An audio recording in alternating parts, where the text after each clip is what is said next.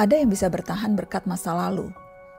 Sebegitu ampuhnya nostalgia, beberapa bangsa malah sanggup melewati banyak krisis karena diikat cerita penuh keagungan dari masa silam. Namun ada yang mampu melewati hari-hari paling gelap karena masa depan. Derita hari ini, kesulitan masa sekarang, bisa ditanggungkan karena pikirannya fokus menyongsong hari esok.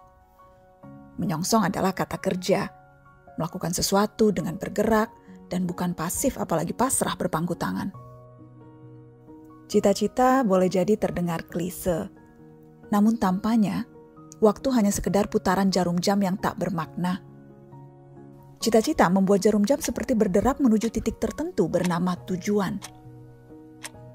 Digerakkan oleh bahan bakar bernama ambisi, cita-cita niscaya bisa direalisasi. Apalagi jika cita-cita itu diburu oleh lebih banyak orang. Dengan berbareng bergerak, perjalanan panjang ini niscaya akan menjadi tur yang seru dan menggembirakan.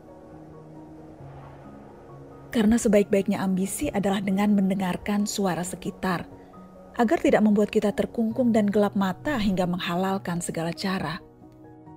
Tapi tumbuh dengan cara yang wajar dan sehat dalam prosesnya.